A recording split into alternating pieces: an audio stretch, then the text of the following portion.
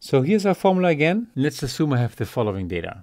There's an x variable, a y variable, and we have four data points. 6 goes to 7, 2 to 3, 1 to 2, minus 1 to 0. And very quickly we can just look at the data diagram, in this case a scatter plot.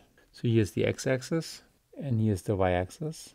And if I plot the data, 6 goes to 7, it's just about here, 2 to 3, 1 to 2, and minus 1 to 0.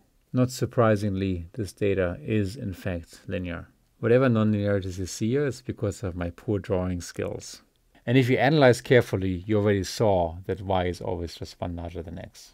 So before we apply the formula, let's just quickly guess what b and a would be if y is always 1 larger than x. What are the coefficients b and a?